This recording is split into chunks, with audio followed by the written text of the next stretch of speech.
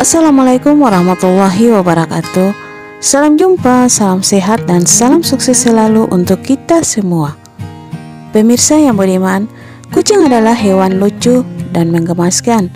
Rasulullah Shallallahu Alaihi Wasallam pun sangat menyayangi kucing peliharaannya. Beliau memperlakukan dengan sangat baik serta selalu ikut dalam setiap kegiatan Rasul. Rasulullah Shallallahu Alaihi Wasallam bersabda, kucing itu tidaklah najis, Sesungguhnya kucing merupakan hewan yang sering kita jumpai dan berada di sekeliling kita. Hadis riwayat Tirmizi, Abu Daud, An-Nasai, dan Ibnu Majah. Jadi kucing boleh dipelihara dalam Islam karena bukanlah hewan yang najis, kecuali air kencing dan buang air besarnya adalah najis. Rasulullah Shallallahu Alaihi Wasallam pun pernah berpesan kepada para sahabat untuk selalu menyayangi kucing peliharaan layaknya anggota keluarga sendiri. Apabila menyiksa hewan ini, maka pembalasan yang setimpal pun akan Allah berikan. Hal ini sebagaimana sabda Rasulullah Shallallahu Alaihi Wasallam, seorang wanita yang dimasukkan ke dalam neraka karena mengikat dan mengurung kucing hingga mati tanpa diberi makan dan minum sedikit pun bahkan tidak diizinkan makan binatang-binatang kecil yang ada di lantai. Hadis riwayat Bukhari. Hewan berbulu ini memang banyak dijumpai di sekitar lingkungan kita. Ada sebagian yang dipelihara orang dan banyak pula yang hidup liar di alam. Kehadiran kucing-kucing liar ini yang sering kali dianggap mengganggu bagi sebagian orang sehingga sering diusir. Tak sedikit orang yang mengaku rumahnya sering didatangi kucing-kucing liar atau ketika sedang menyantap makanan di kedai makan.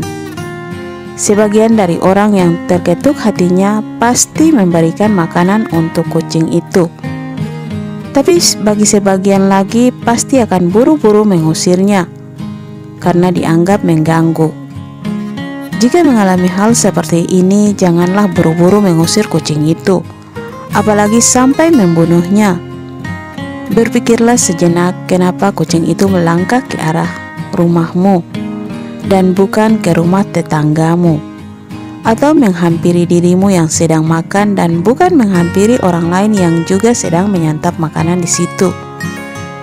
Jangan sepelekan kedatangan kucing itu karena sesungguhnya kedatangan kucing itu sebagai pesan Allah bahwa satu, kedatangan kucing itu merupakan pertanda bahwa Allah Subhanahu wa Ta'ala mengingatkan kita tentang hakikat memberi atau berbagi.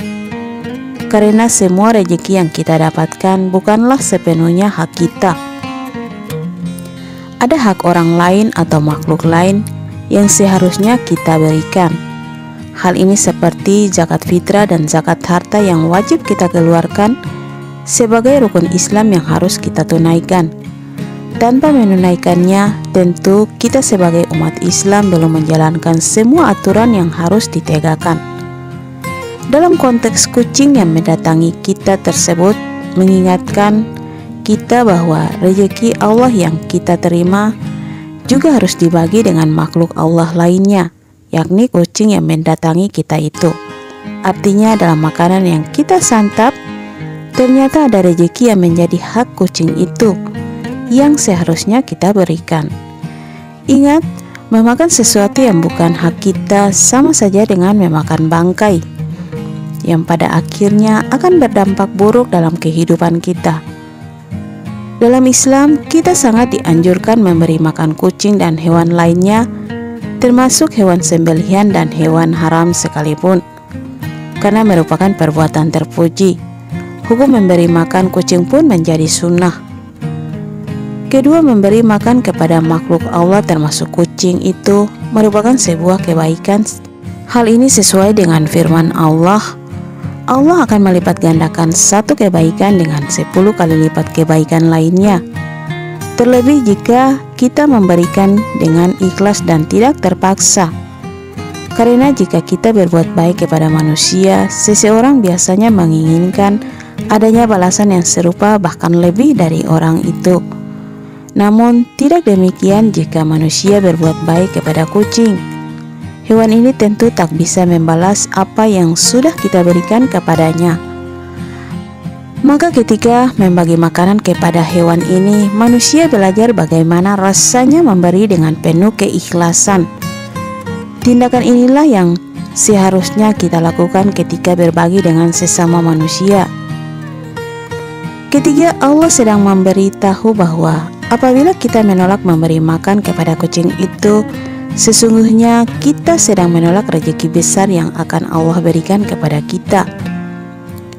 Rezeki itu luas, bukan hanya berupa uang saja, tetapi menyangkut semua aspek kehidupan, seperti diberi kesehatan fisik dan mental, adanya ketenangan jiwa, dimudahkan dalam segala urusan, dan kebaikan-kebaikan lainnya. Tanda datangnya rezeki besar bisa jadi datangnya kucing kepada kita, yaitu sebagai tanda akan datangnya rezeki baru melalui kebaikan yang kita beri kepada kucing itu. Apabila ada kucing liar yang hanya sekedar ingin berteduh di rumah kita atau meminta sedikit makanan, maka berikanlah dengan baik dan tulus ikhlas. Jika kita menolak memberikan sedikit makanan pada kucing itu, bisa saja Allah Subhanahu wa taala akan menarik kembali rejeki yang akan dibagi untuk kita. Wallahu a'lam bishawab. Oke pemirsa yang beriman, itulah pesan Tuhan yang disampaikan lewat kucing yang mendekati kita. Semoga bermanfaat dan menginspirasi. Sampai jumpa lagi di episode berikut di channel yang sama. Jangan lupa like, komen, dan subscribe. Terima kasih. Wassalam.